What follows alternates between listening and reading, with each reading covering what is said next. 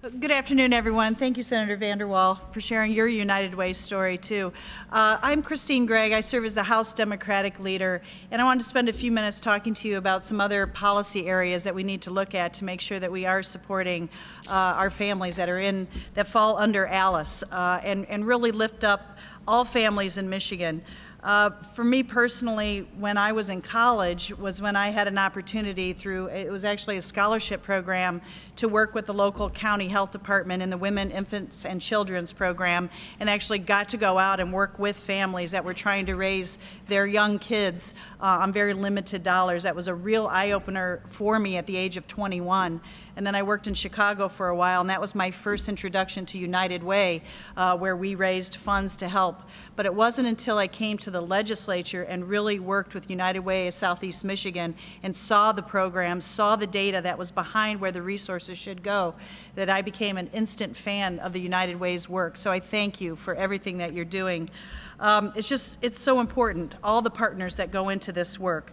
And this report is an incredibly valuable tool that can help inform um, these important policy conversations that we absolutely need to have if we're to move this state forward for everyone.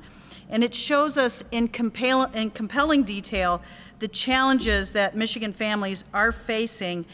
You know, they're facing it and just, just trying to get just trying to get by, to have some financial stability for their families and it demonstrates that we have serious systemic um, issues and challenges to address if we are to ensure that every family who's working hard and playing by the rules can sustain that good quality of life here in Michigan.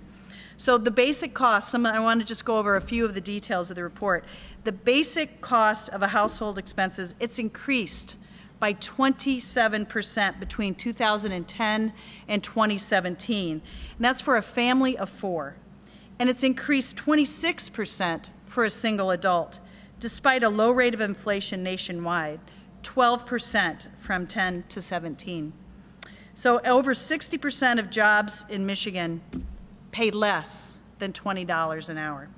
Yet the wages needed to support the Alice household survival budget is $30.64 for a family of four. Let me just review that again. So 60% of jobs in Michigan paid less than $20 an hour, but yet the Alice threshold is $30.64 for a family of four. We should really work on that really work on it. So the statistics and information that get trotted out, you know, to celebrate this comeback that we hear so much about, you know, things like the number of jobs or low unemployment, they don't really speak to the facts that families are facing and that families are still struggling in this economy. Because, it, you know, it's not about the number of jobs, it's about the quality of the paycheck. And that, you know, because of stagnating, stagnating wages, um, the percent of Michigan families who can't afford their most basic needs, health care, child care, food, rent, and transportation, has actually increased by 6% since 2010. And that's why we've continuously advocated for policies that level the playing field and put working families back in the driver's seat of this economy. We have to think about families and people first and getting them to work. They drive the econ economy, they create the jobs. So things like restoring the earned income tax credit to its pre 2011 levels. That's a program for working families. So, like fighting for the minimum wage, the original version that more than 400,000 Michiganders signed on to in last year's ballot initiative that would bring up the hourly wage to $12 an hour by 2022, which has now been turned back to $12 an hour by 2030. How is that helping our families that need to try to get up to $30 an hour to just survive? So I am proud, though, however, that we've maintained the Healthy Michigan plan to ensure access to health care for nearly 700,000 Michiganders nearly all of whom are in Alice households. But we need to protect their access to care by repealing recently enacted work requirements that make it harder to keep that health care. Because studies have shown that greater barrier to health and steady employment is a problem. We've got to remove barriers and not put them up if we want the stability for our working families here in Michigan. You know, I believe good government protects its citizens, especially the most vulnerable among us. So as our population continues to age, like myself, and boomers in particular, like myself, uh, continue toward retirement, it's critical that we're providing the support they need to live without worry or fear.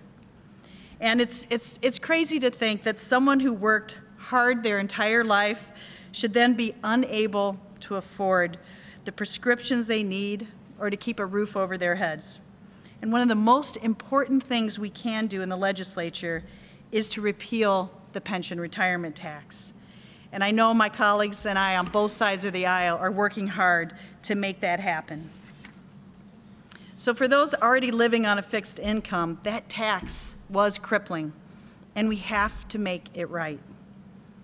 So, if there's one takeaway for from today, it's that more does need to be done. Policymakers from both sides of the aisle need to come together, put people at the center of those policy decisions, decisions to really move this state forward. So clearly, as we've heard already, 43% of families struggling to make ends meet demonstrates the need for real policy change. We need to ensure that our tax, labor, and education policies are setting families up for success. And not, you know, they have to be stable to be able to prosper. That's the first step, and that's where our policy needs to go. So we're working on it in the House. My House Democratic colleagues and I have, have proposed a lot of different le legislation that we're hoping to work with our colleagues across the aisle to make sure that we are moving our families forward. So again, I thank you for inviting me to come in and speak today. Thank you for the work that you're doing, and let's remember those working families when we develop policy uh, initiatives. Thank you very much.